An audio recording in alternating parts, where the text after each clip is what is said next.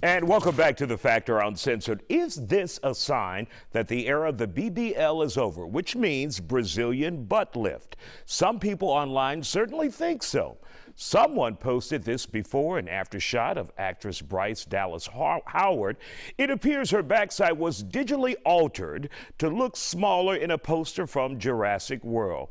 We know everything's bigger in Jurassic World. Just leave it alone. Although this was done a few years ago, it may also suggest the look of the thin is coming back in, back in style, which can also lead to body image issues. I think the pandemic just took our eyes off of a lot of balls. And what it really did was create um, more tension, more intensity around things that have always existed. And the other thing I think the pandemic did was put us all more in front of screens, in front of cameras. And that has probably led to why we're seeing this increase in disordered eating and problematic behaviors around our bodies.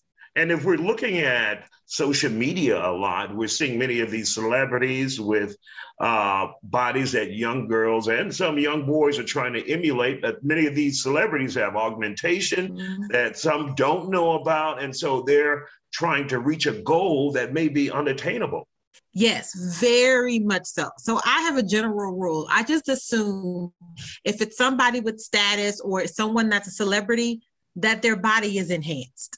That some work has been done, right? that could be um, minimally or it could be a lot. But what a lot of people get confused is it's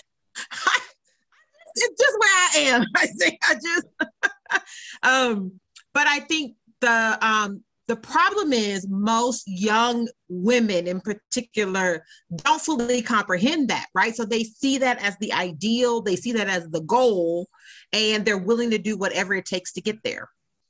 Now if you notice your child friend or family member going through anorexia or bulimia what should you do yeah, so this is a really tough area. This is really one of those areas where the person who is sick, um, who has the disorder, really needs the one needs to be the one to be in the forefront of treatment.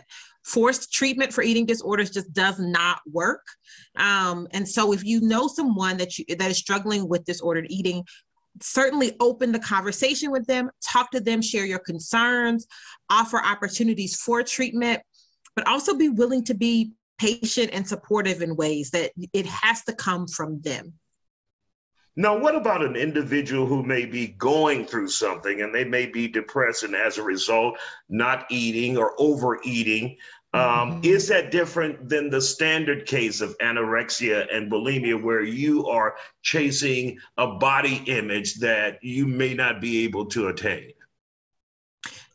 So the short answer is yes, but also and, right? So for some people, um, using food as a way to comfort and or create a sense of control can be a function of being depressed or anxiety or something that feels um, maybe even more temporary. You see that often with grief or when people are under ex- extreme stress. And sometimes for folks that can trigger an eating disorder, right? And so one, it starts off as one thing and it can become a different thing. And particularly because food, our relationship to food, our body image is really um, something that we talk a lot about in this culture where we have really specific standards for um, we t- and we there's a lot of fat phobia is the term that we talk about right?